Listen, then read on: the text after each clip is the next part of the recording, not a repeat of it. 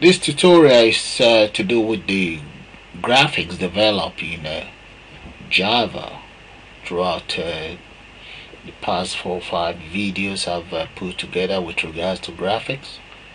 So here are the stars as you guys can see. Then I also have the rectangles which I can always bring the stars on board. And here I have my so-called sword with just uh, my little artwork right there and I then have the oval an extended oval shape now I have my diversified stars. I feel altogether they are beautiful. They are beautiful artworks for those of you who are interested in graphics and uh, if you want uh, this very line of code all in all I will be very very happy to forward you the codes.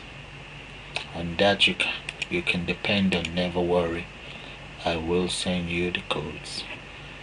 So here is the final result of all the graphic work I've, I've done so far although one is missing the building is missing but uh, I guess you guys will enjoy it. If you want send me a, a message and I'll forward this code to you. So let me take you into the programming environment so that you guys will see the lines of codes.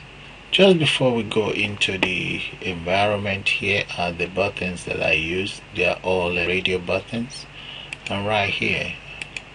I have the source code.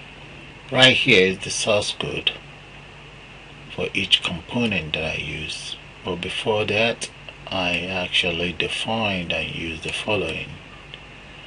I import all of the following. Here you can see I've imported audio. You guys didn't hear any audio but I'll show you there's an audio in here. So let's move on now and the next thing is my rectangle that I created. And uh,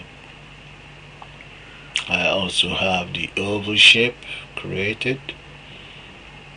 That's it right there. Up here is the rectangle oval shape. Then I have my other graphics that I use in creating the stars there they are. Here you can always manipulate the shape of each stars okay let's move on. As that. That's another star actually. So what I would do is to copy these lines of codes save it into one file upload it into my share drive. You guys can always uh, send me an email and I'll be very happy to forward these lines of code to you. So I'll take you back to the environment and you see how it all works. Okay these are all the codes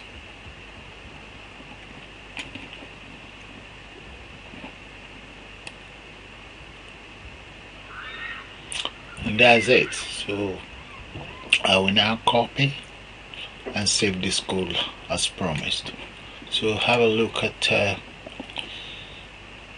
the graphic work again. Just like I said right here there's an audio here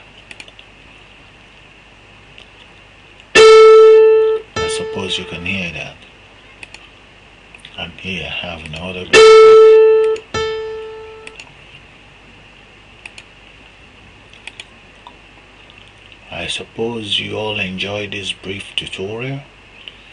So I will now call it a day. So you all have a nice day now